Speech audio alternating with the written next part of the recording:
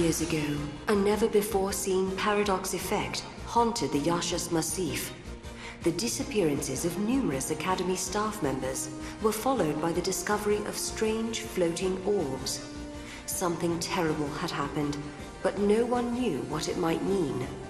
A method to reverse the paradox was never found, and with the passing of the years, the Crimson Spheres simply became another part of the scenery.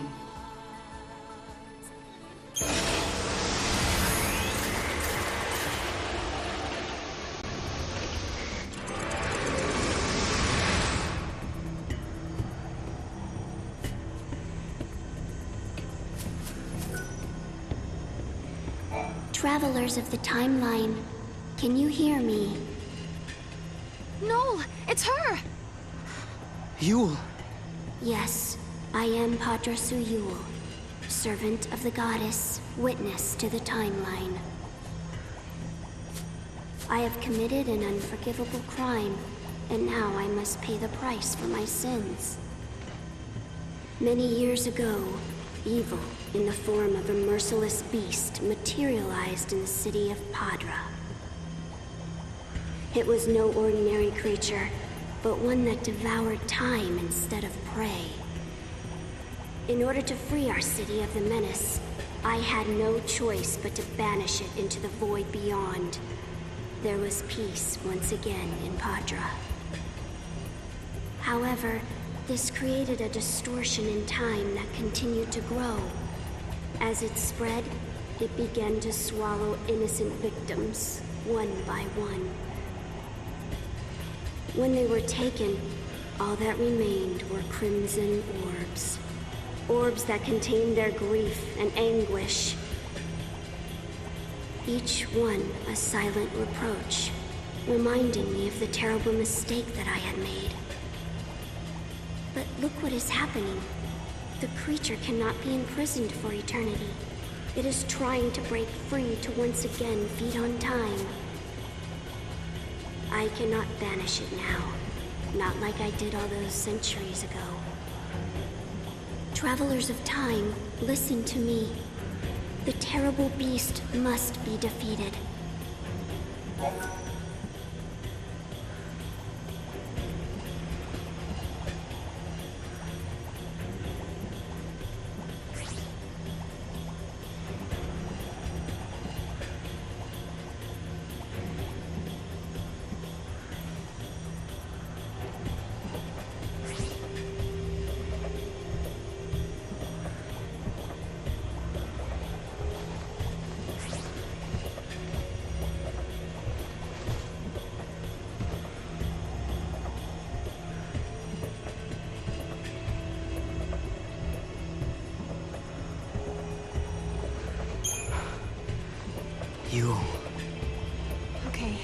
Sort this out.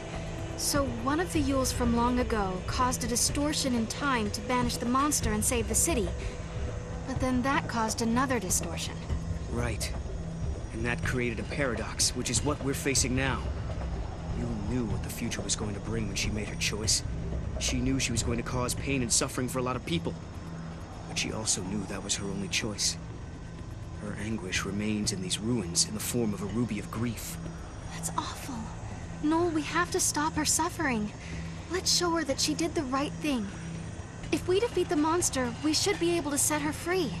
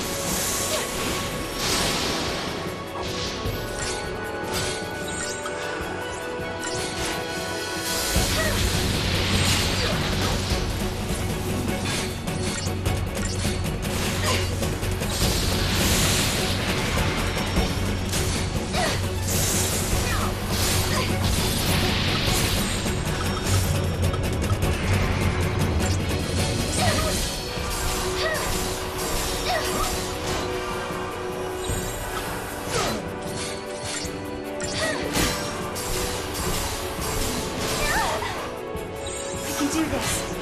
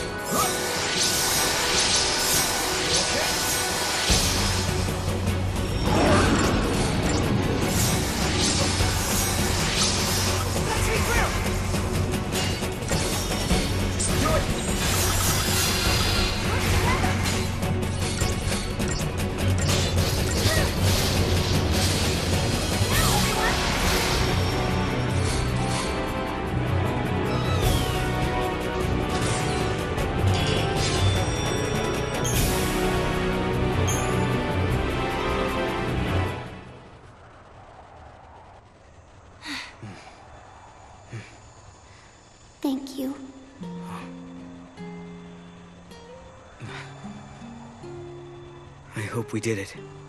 I hope we were able to end her suffering. I'm sure we did. In an effort to save the people of the city, Yeul broke her oath and tampered with time. This caused a disturbance in the timeline, which led to the creation of a paradox. And the death of many innocent people. I have to wonder, did Yeul make the right choice? Was there even a right choice to make? If she had done nothing, people would have died. The city that Yeul so desperately hoped to save was eventually destroyed. No matter what her decision, either choice would have eventually led to the death of the people of Paddra. I don't have the ability to see into the future like she does, and I'm thankful for that. If we knew the outcome of all our actions, wouldn't we just give up? What would be the point of trying? But I can't see what's going to happen. I don't have the power to know what tomorrow may bring. And that's why we can still hope and believe in the future.